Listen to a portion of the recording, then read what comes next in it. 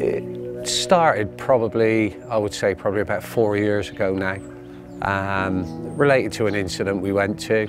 It was just a family member turned up and yeah, it was, I just couldn't get that certain person out of my head and and then everything just spiraled out of control then. Everything I did, I, I couldn't get anything out of my mind.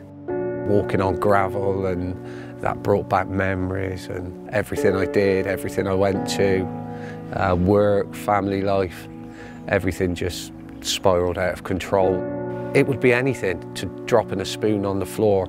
I, I, I could just, uh, I could flip.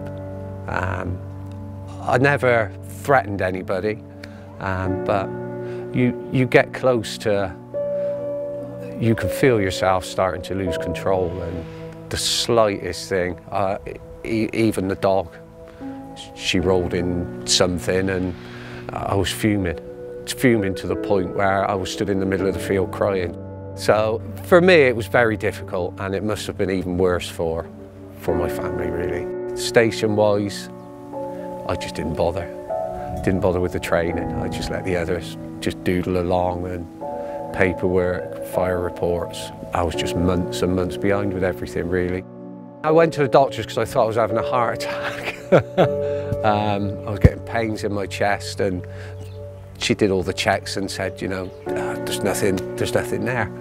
And it was then that she said, you know, how's your family life, home life, work life? And uh, yeah, it was then that the realisation kicked in and, well, I, I, I, broke down in the doctor's surgery, so it was then that uh, I realised I had a bit of a problem and she advised me to, uh, to seek help.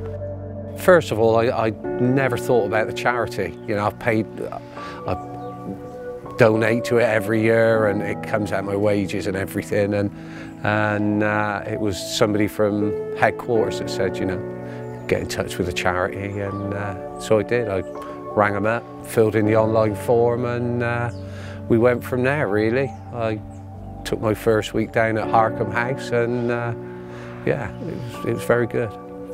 Not everybody had the mental issues, some were there with, you know, broken limbs or whatever, but it was just good to talk to all them.